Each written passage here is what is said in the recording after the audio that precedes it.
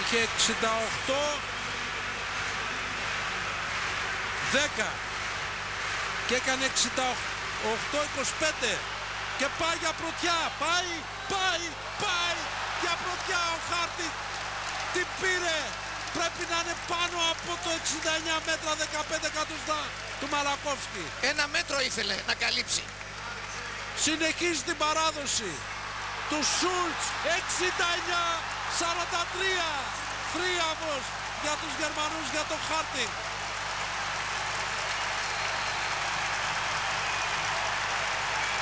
Βούλωσε τα στόματα λέει. Εφτά χρυσά αν ο Μαλακόφσκι δεν ρίξει παραπάνω. Αν δεν κάνει τρίτη φορά ρεκόρ Πολωνίας θα χάσει. Το ξεκίνημα του αγώνα είναι πρώτος ο Μαλακόφσκι, ο Πιότρ Μαλακόφσκι, ο Πολωνός και στην πρώτη τελευταία βολή βρίσκεται δεύτερος. Και η απόλυτη έκφραση του fair play. Ο κόσμος με την προτροπή του εκφωνητή του σταδίου χειροκροτεί υπάρχει τον αυτό. Πολωνό. Τεράστιος πολιτισμός. Μεγάλη βολή. Όχι, δεν είναι καλύτερη. Ε, Συγχαρητήρια στο Μαρακόφσκι. Αλλά δεν είναι καλύτερη με τίποτα. Μπράβο Πιότρου. Σπουδαίος αγώνα παρακολουθήσετε κυρίες και κύριοι. 67-33. Παγκόσμιος πρωταθλητής.